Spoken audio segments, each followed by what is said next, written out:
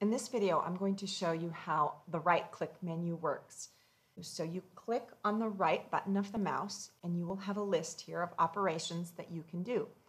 Now you can see right now that these patterns are green, but they are not selected. I'll select one now. And I say copy, I'll get a copy. If I say delete, it will delete the selected one. If I say undo, it will undo that delete.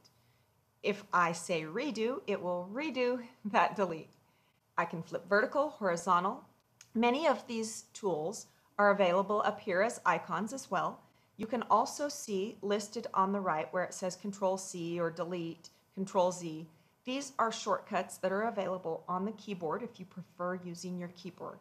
Reverse sew pattern center will give us a, a center mark there on the pattern. To add a push pin, I can do it by clicking here. I could also click on the sew head and it will give us a push pin.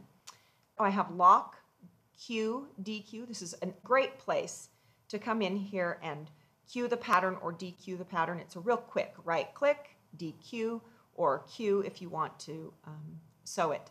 I can also uh, do a select all. That can be very useful as well. So when you select all, it will all selected. And so when I copied, I got both patterns copied. Now the last one on here is called Open Group Manager. And I'm going to click on that. The Group Manager is this window here that gives you access to see what you have on your, on your screen here.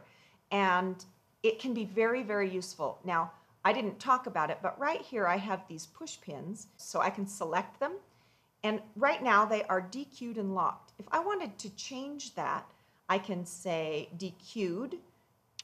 I could say all of those different options, queued and unlocked. And you'll see they turn green and they are ready to be sewn.